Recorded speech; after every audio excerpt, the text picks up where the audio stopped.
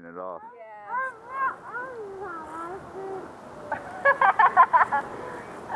I, told her she could touch the dog after she ate her muffin, and she shoved it all in her mouth.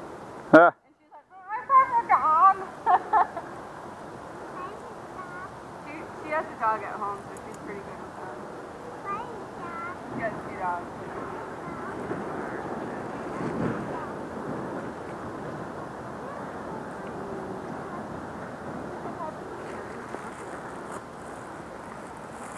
I don't know who this came from, but let's get it out of here. There's